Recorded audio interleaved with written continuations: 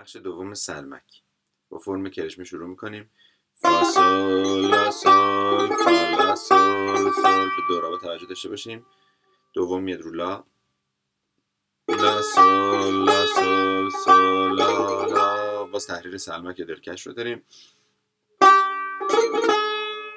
انگشت اول میاد رو فا فا سول سول سول سول اینجا خلاصه تر هست دیگه فاش تکرار نمیشه لا فا راست چپ تکریز میره.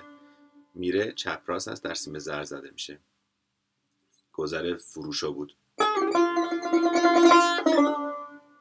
لا میر. می‌بره اشاره داره. دوره می فا سول لا سول فا اینجا راست چپ راست چپ راست چپ راست راست. ریزمون شروع میشه از فا. میره روی می.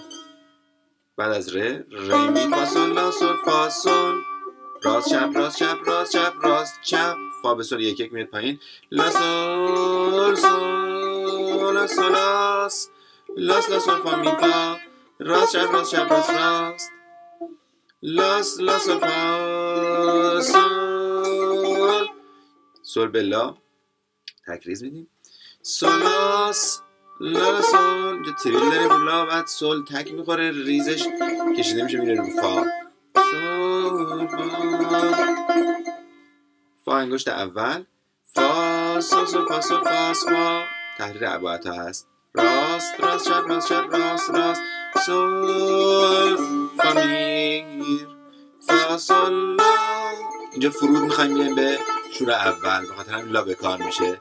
سول فاس فاس فاس فاس فاس فاس فاس فاس تحریر چکشی به این میگیم لا سول فام فا سول فا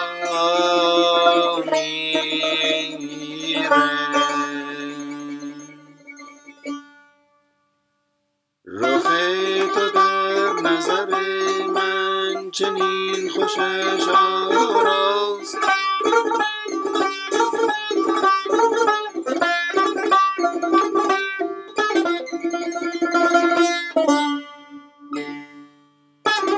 Thank you.